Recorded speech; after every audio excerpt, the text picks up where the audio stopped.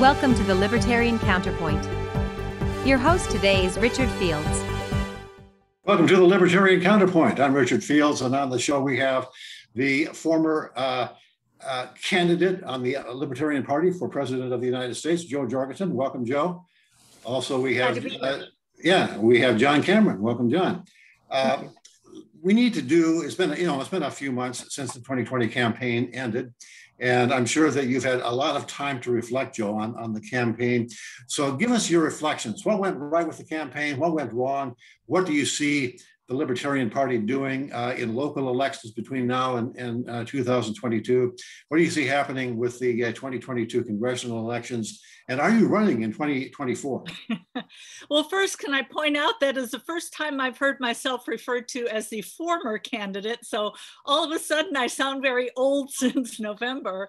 But one thing that I am very proud of is we uh, well, first of all, we came in second, second number of votes and second highest percentage of any libertarian campaign uh, since the founding of the party.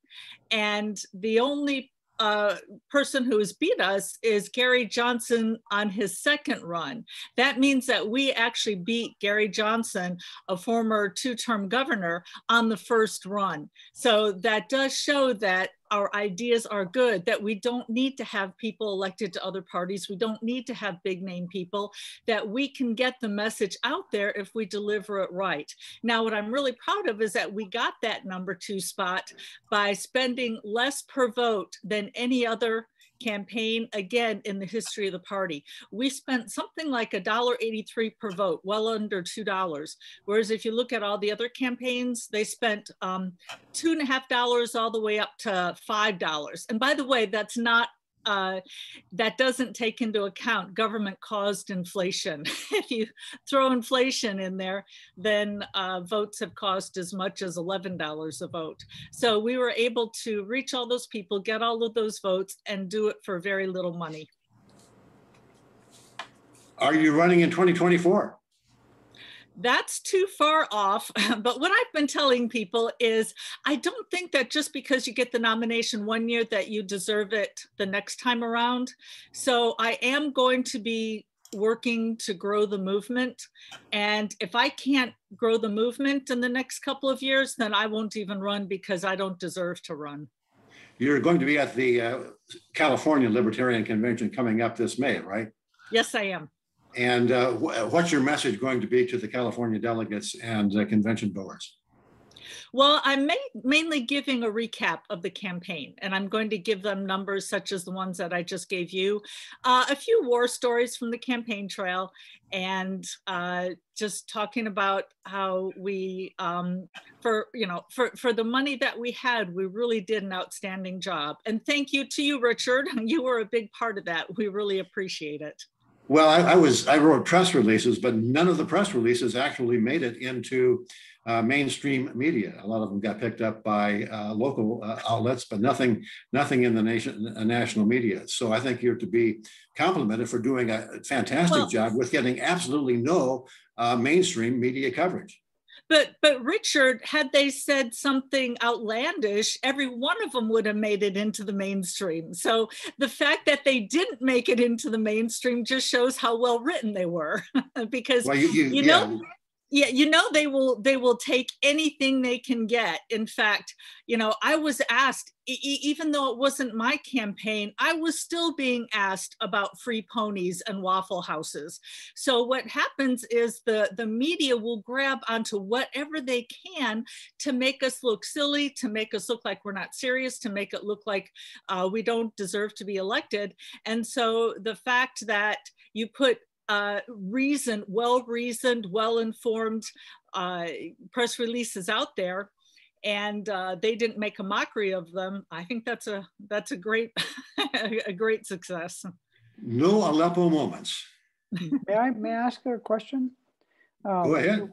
The, and I don't know if you know this number, and I'd like to find it. If you don't, I'll, it'll be my research after the show.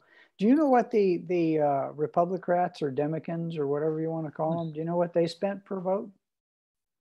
That's Any an idea? excellent question. I'm not sure. I'm not sure. But you know, they they get so many votes free anyway because so many people think that those are the only two parties. In fact, mm. somebody told me that a friend of his had gone to vote for president and he you know, gets out of the voting booth and talks to his friend and said, Yeah, I didn't realize there was a choice other than Trump and Biden. There was this guy, Jo Jorgensen. Who's he anyway? so, you know, there are so many people who, you know, R or D, and they go in and check the box and it doesn't cost them a dime. Speaking of uh, R or D, Biden or Trump, we ended up with Biden, although uh, I haven't noticed a whole lot of difference when it comes to uh, fiscal and monetary policy. Uh, Trump was a big spender and a, and a huge cheerleader for monetary uh, expansion. And with uh, Biden, we're getting more of the same doubled down. any, any difference that you can tell on fiscal responsibility or monetary sen sensibility? Not really. And that's what a lot of our press releases said. We pointed out how Biden had a made in America. You know, he was going around talking about made in America and how we're going to give Americans more jobs.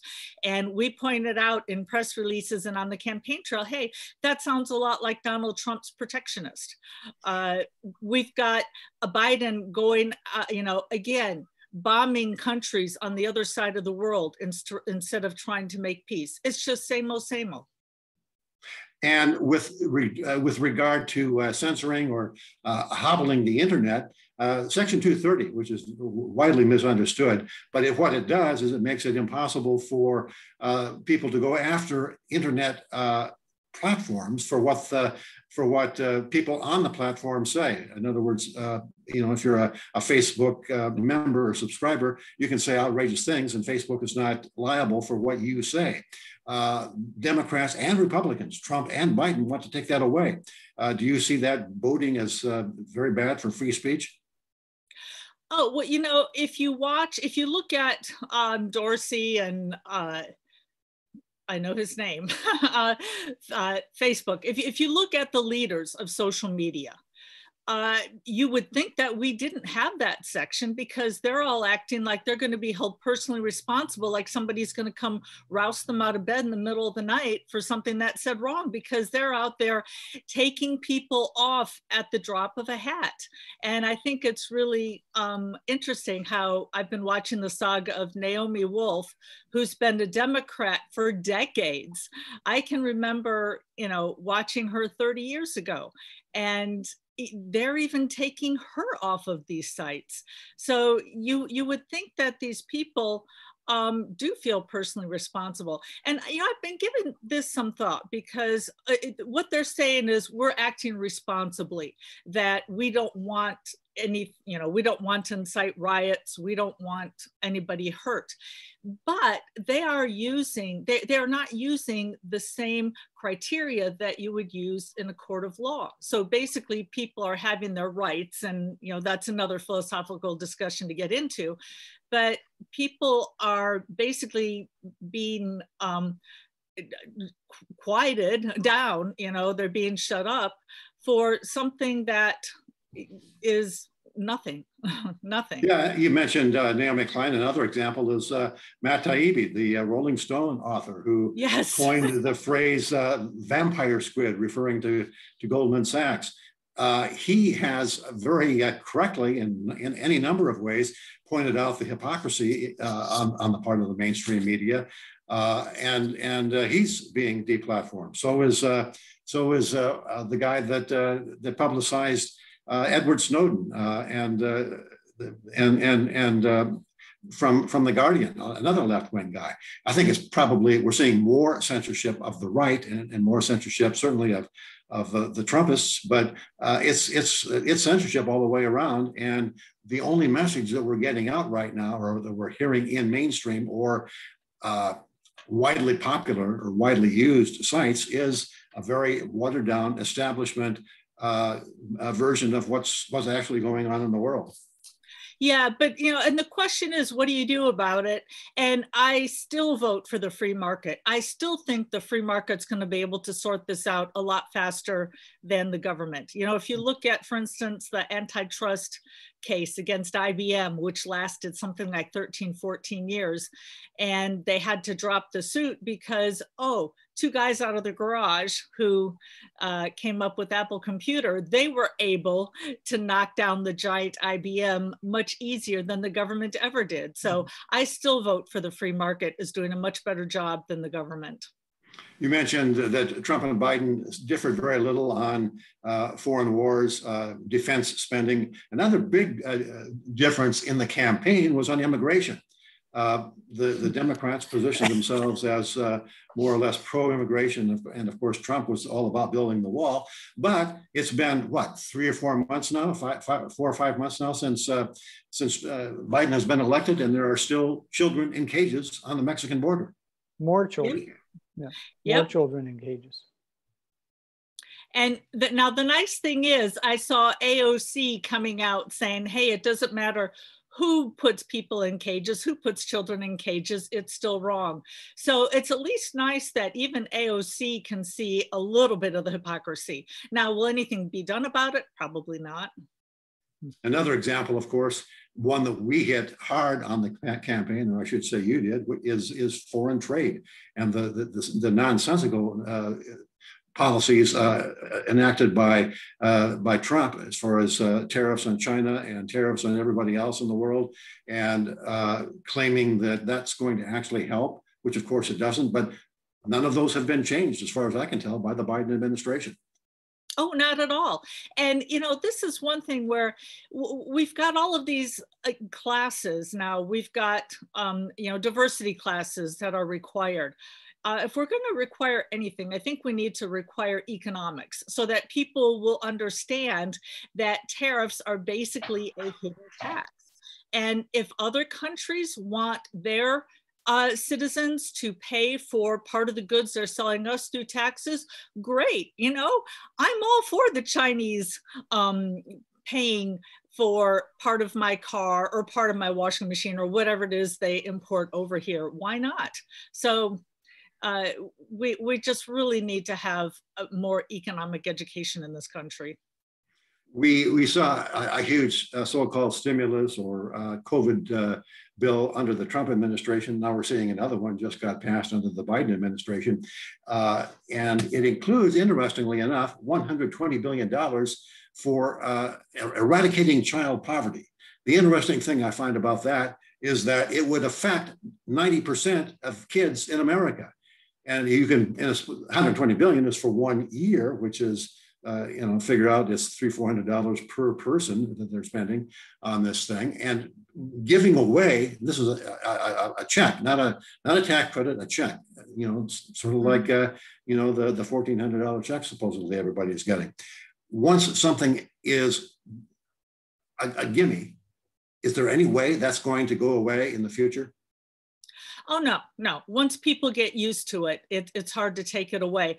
And this is so frustrating because this is the beauty of the free market. If you try something and it doesn't work, you go bankrupt, you go out of business. Somebody else does a better job, they do it a better way, they've got a new process. Uh, they're the ones who went out and it works. What happens in government is we've got you know, we can go back to the war on poverty. Let's go back to LBJ. Poverty was going down until they decided to have a war on poverty and then it leveled off. So we've got something that we know doesn't work and yet what to, what does government do? They say oh well um, you know uh, what 60 years ago we tried this and it didn't work. Let's do it again. And it's been shown it doesn't work. And it's just very frustrating to see them trot out the same thing under a new name John, this is this is your your topic. Well, John, go ahead. You have a question. Well, yeah, I'm I'm of the opinion, and maybe I should. Uh, I said I wanted to ask a question. Now I'm opinionating here, but I think after someone has uh, had a process in place or a program in place for 60 years or 50 years, the war on poverty, the war on drugs, the war on whatever it is, and it's failed miserably, and the opposite effect has taken place I don't think you can you can you can any longer can you say this is an unintended consequence. I think the only thing you can say is now this is the intended consequence. So this failed program basically is designed to keep people in poverty uh, and to to uh, uh, keep them from bootstrapping themselves out. Uh, and why would why would anybody want such a program in place? Who wins by this? Would be my question. Does anybody have an answer? Well, the politicians do, the people in Washington, the, the people who uh, earn their nice livings do. And hmm. you bring up an excellent point. I hate that unintended consequences because they're very intended. And the, the one thing that really irks me is Obamacare because they were saying how uh, insurance was going to go down by what, something like $2,500 a year, that it was going to be affordable. In fact, that's what they called it, the Affordable Care Act, even though nobody knew that. I'm not sure if you saw they, I've seen these where they do the interview with the guy on the street, right? Which, which you prefer, Obamacare or the Affordable Care Act? And people didn't realize it was the same thing and yet it made it less affordable. And then they came out and they said, oh, well, we didn't see any of this. Well, all you had to do was read any economist's, uh, you know, uh, paper on it who said exactly it was going to increase costs. Hmm. All you have to do is go back to the economic formulas from, you know, 80 years ago to see that that's what was going to happen.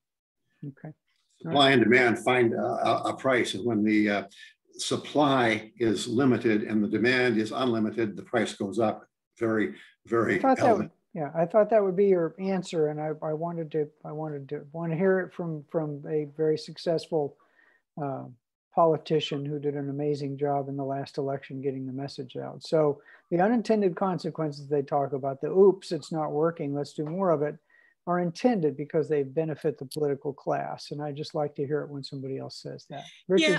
question. Uh, John, you're you're interested in media corruption. Maybe you. I'm sorry, Jo. Go ahead.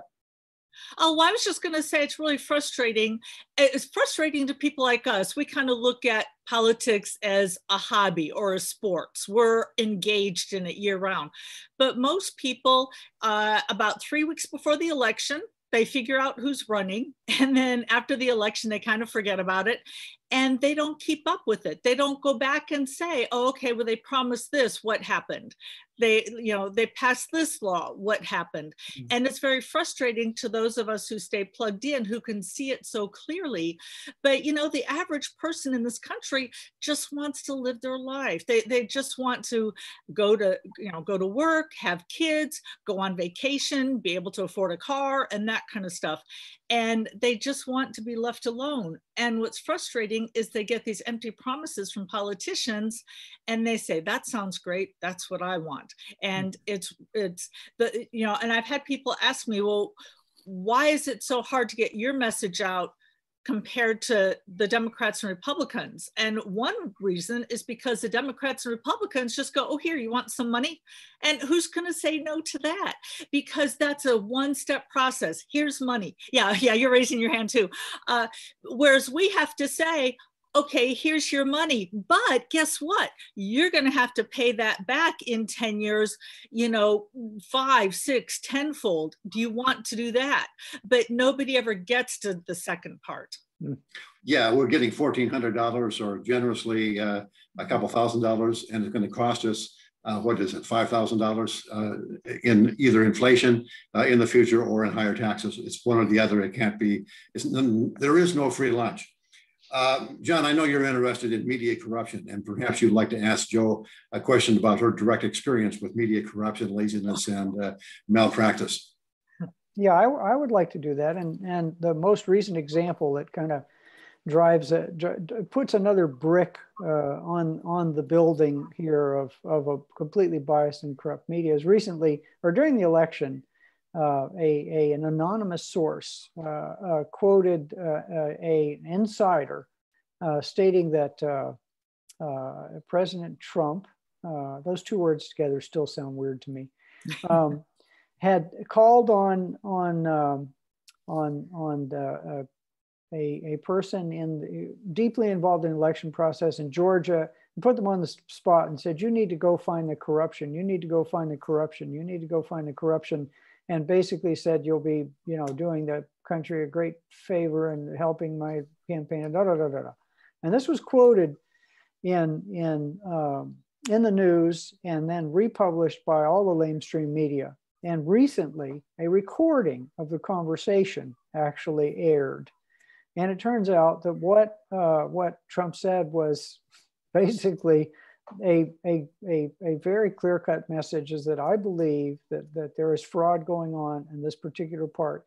And I would like you to see if you can find it. And, and you'd be, by keeping the, I'm paraphrasing, by keeping right. the election honest, you'd be doing the American people and the nation a great favor. Two completely different messages. And yeah. once this came out, um, the, the media didn't uh, do a major mea culpa.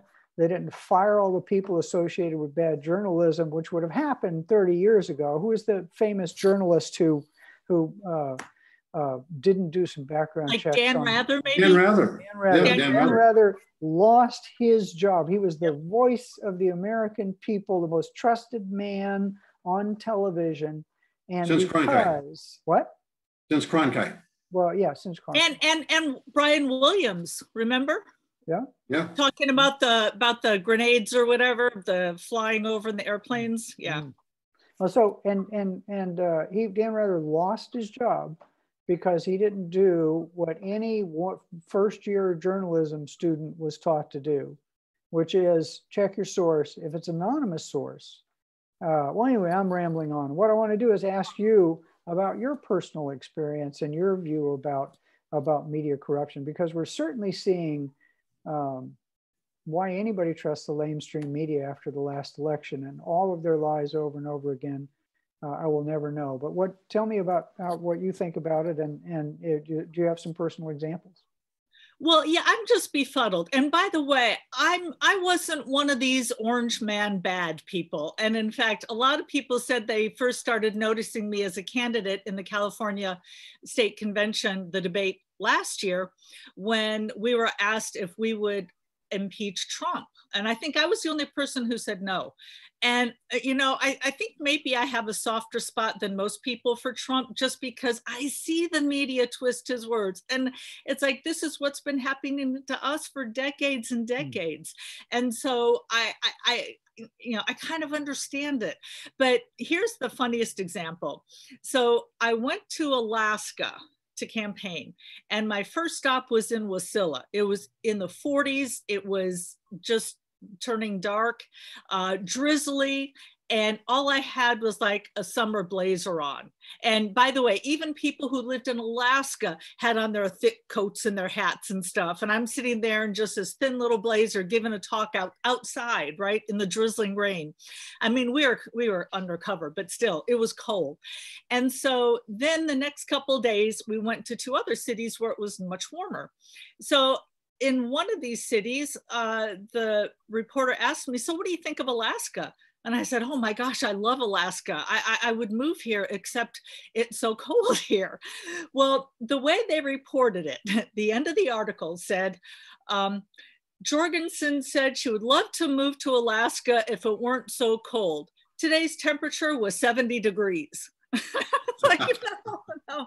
So, you know, like like they, they even twist around the weather when they're mm. going to uh to quote me. So and and and I, I I'm sure I made it clear to the reporter that no, I wasn't cold that day. I was cold, you know, back when it was 40 degrees out in the drizzling rain. So yeah, you, you, almost can't see anything without them uh, twisting it around. Now, we did have some good reporters who uh, you know, th there are some reporters who are seeing, they're looking at it as journalism used to be the truth detector. They were the ones to get to the bottom. They were the ones to let the people know what's going on. And I did have my share of those reporters who really tried to give me a fair shake.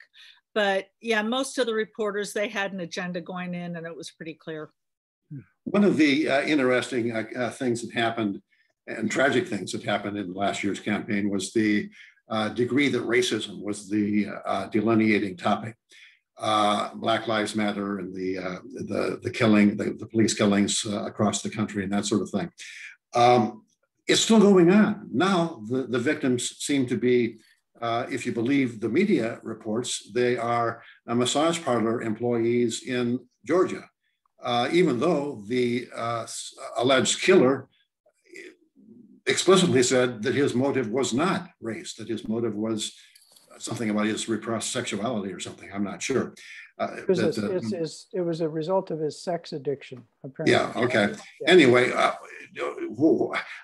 what's your take on, on the, uh, the, uh, the, the uh, uh, predilection of, of media and politicians to turn everything into a race issue?